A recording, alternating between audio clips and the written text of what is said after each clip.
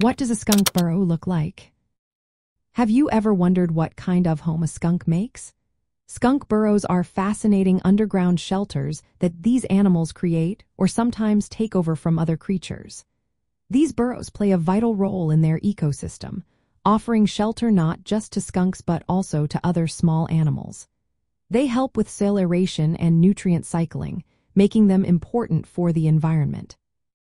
A typical entrance to a skunk burrow is a small hole in the ground, usually measuring between 4 and 8 inches in diameter.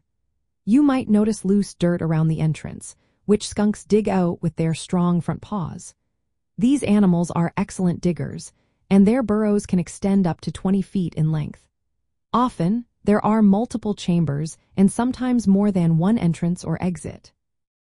You will commonly find skunk burrows in areas with soft, loose soil. They like to dig under decks, sheds, porches, or even in gardens and lawns. In rural areas, skunks may dig burrows in fields, along fence lines, or close to water sources like streams and ponds. Inside the burrow, skunks make their nesting chambers cozy by lining them with natural materials such as grass, leaves, or hay. They are also opportunistic animals and may use abandoned burrows made by other animals, such as foxes or woodchucks, instead of digging their own.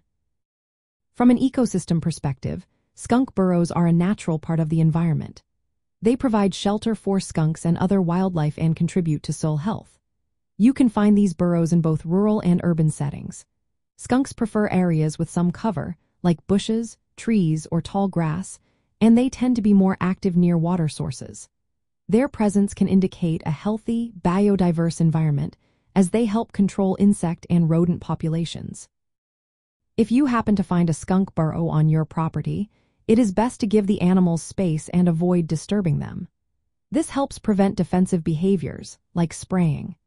To coexist with skunks and minimize conflicts, secure your garbage cans and compost piles, remove potential food sources, and consider using deterrents like motion-activated lights or sprinklers.